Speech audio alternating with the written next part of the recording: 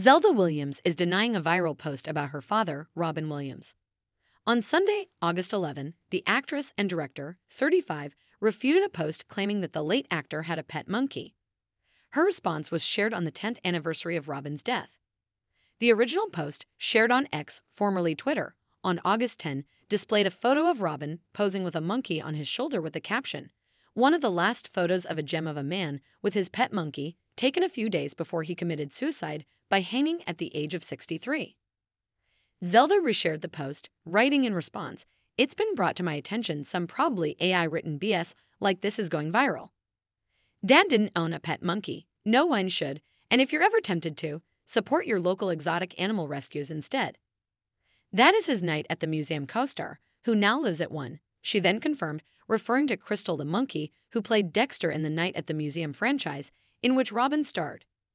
Zelda also cleared up in the comments section of her post that the photo of her father is a real picture, noting it's just not the last picture. Robin died by suicide in August 2014. The late actor shared Zelda and son Cody, 31, with his second wife, Marcia Garces, plus his older son Zach, 40, with his first wife, Valerie Velarde. Zelda also spoke out about social media posts regarding her father on the anniversary of his death on August 11 in a follow up post.